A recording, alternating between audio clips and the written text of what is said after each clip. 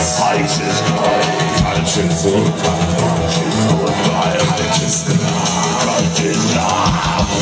Leute, die jetzt die rein, die und in sich bleibt dein Mund